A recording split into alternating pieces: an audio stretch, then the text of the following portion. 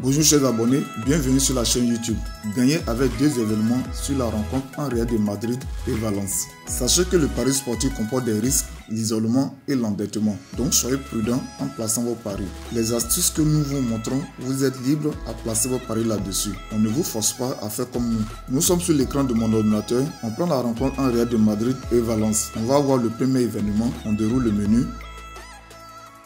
Nous sommes dans le premier événement. Le premier événement, il s'agit de période sans but. Période minimale sans but dans moins de 7 minutes. Si c'est possible, la cote s'élève à 1.78. Dans le cas contraire, la cote s'élève à 1.92. En plus, période maximale sans but, moins de 46 minutes. Si c'est possible, la cote s'élève à 1.8. Dans le cas contraire, la cote s'élève à 1.9. Maintenant, pour le deuxième événement, il s'agit de l'option nul dans les deux mi-temps. Nul dans les deux mi-temps, si c'est possible, la cote s'élève à 8.2. Nul dans les deux mi-temps. Si ce n'est pas possible, la cote s'élève à 1.075 dans cette rencontre. Je viens de vous présenter les deux événements. Avant de faire nos choix, on va analyser tous ensemble cette rencontre. Nous sommes sur les statistiques de cette rencontre en Real de Madrid et Valence. On va voir les informations avant match. Composition probable en Real Madrid et Valence. Pour Real, on a 4-3-1-2. Pour Valence, 4-4-2. On a les différents joueurs avec les différentes notes. Par exemple, Benzema avec 7 7,39 points. Hazard avec 7,51 points. Pour l'équipe Alves, on a Gomez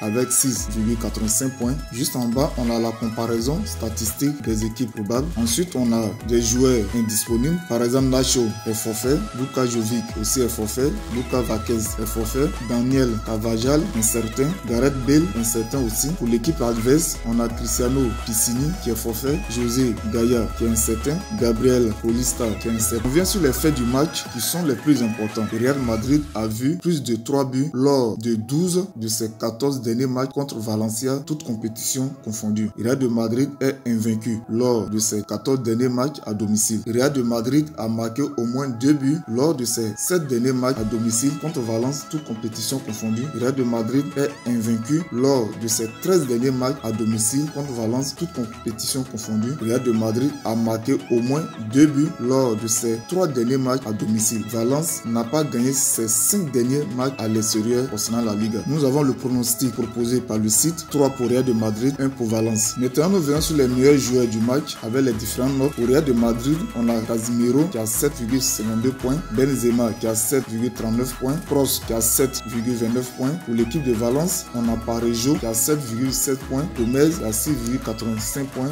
Torres qui a 6,82 points. Au niveau des buteurs de l'équipe de Real, on a Benzema qui a 14 buts, Ramos 6 buts. On a Tony Cross qui a 4 buts. Côté Valence, on a Gomez qui a 9 buts. Parejo qui a 8 buts. Gamero qui a 5 buts. Concernant ceux qui font les passes décisives, on a Benzema qui en a 6. Cross qui en a 5. Cavajal qui en a 5. Côté Valence, on a Moreno avec 7 passes décisives. On a Was avec 6 passes décisives. On a Torres avec 4 passes décisives. Maintenant, vu tout ce que nous venons de voir concernant les statistiques de cette rencontre, nous sommes outillés de faire nos choix avant de placer nos paris pour limiter les pertes. Donc, les deux événements que je viens de vous montrer, le premier événement concerne la période sans but et le deuxième événement concerne nul dans les deux mi-temps. En bonus, placez vos paris sur l'handicap 1, moins de 0,25, la cote égale à 1,22. C'est une astuce que je vous donne. Vous êtes libre de placer vos paris ou pas. On ne vous force pas à faire ce que nous